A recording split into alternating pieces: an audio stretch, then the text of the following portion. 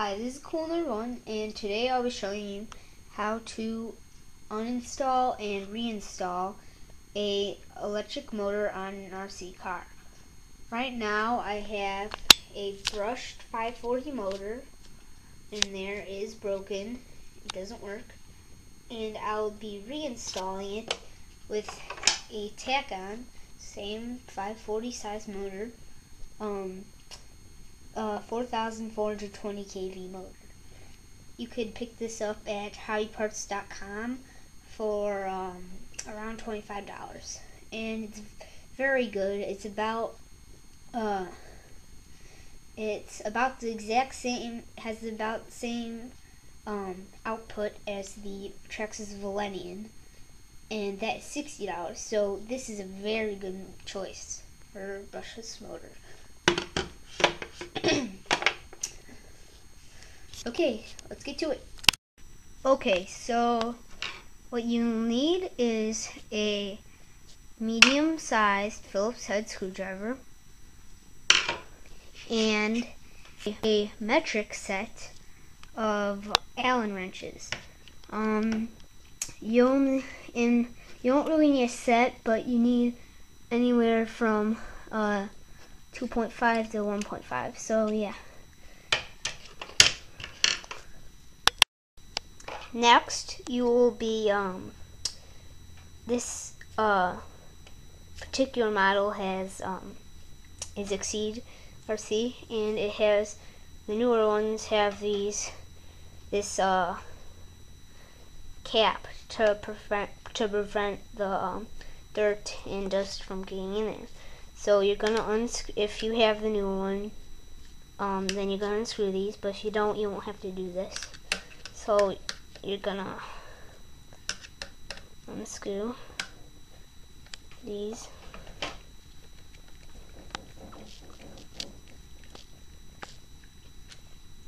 And you want, want to make sure that you put them in a, in a special place where you won't lose them. And for this motor mount right here, there's a motor mount right under this.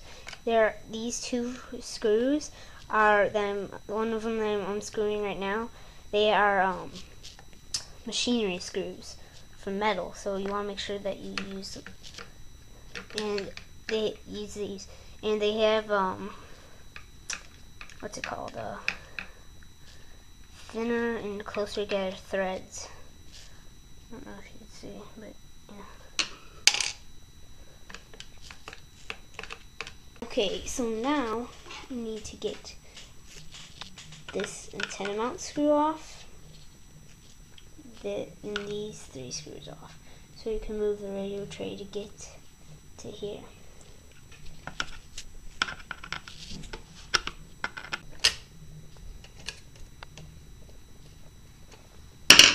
Okay, once you have that done, you can just pull this to the side you don't need it uh, along that much, but just make sure it's not over this gear. And then you can take one of your Allen wrenches. It looks like a 2, size 2. Sorry. And unscrew this little drive joint thing here.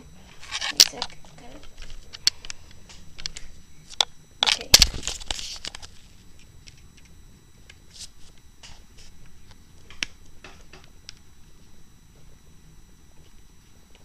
Sorry, my camera's pretty bad quality. I'm gonna get a new one soon.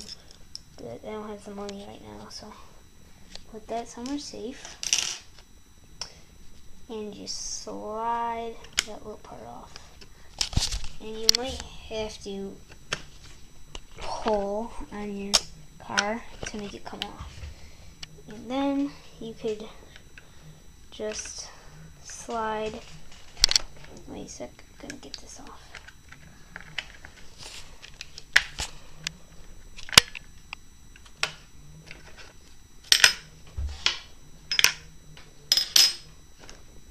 Then you could just slide the motor mount and the motor off. Okay, so I got the motor here, but there's one problem. It's stuck to the motor mount. And to get it off, you need a two, a size two uh, Allen wrench.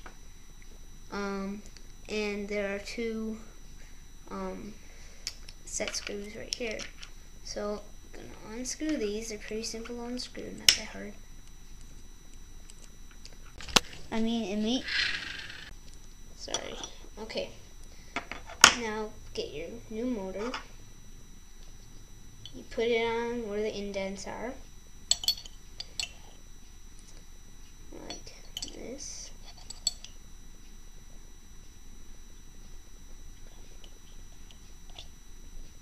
Screw on the new gear.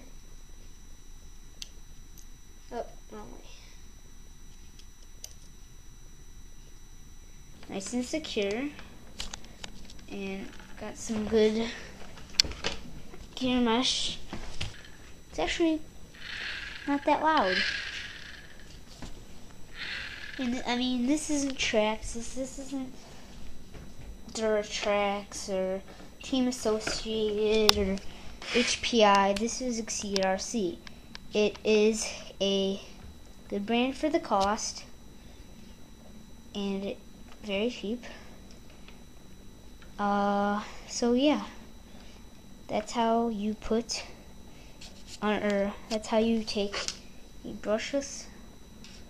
That's how you take a brush motor out and a brushless motor in. Thanks for watching. Bye.